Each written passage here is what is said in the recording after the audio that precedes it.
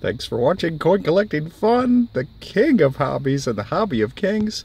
Here's a 1940D, followed by a 1956D, and a 1958D. This is a look at the front of the coins, or what's known as the obverse of the coins. Now let's go ahead and take a look at the reverse of the coins. And just look at those wheatback designs.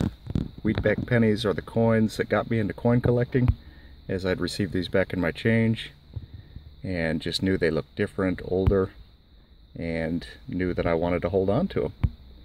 So the collection grows of wheat pennies. Every time I find one in my change or during, during a uh, coin roll hunt, I'm always glad to see them.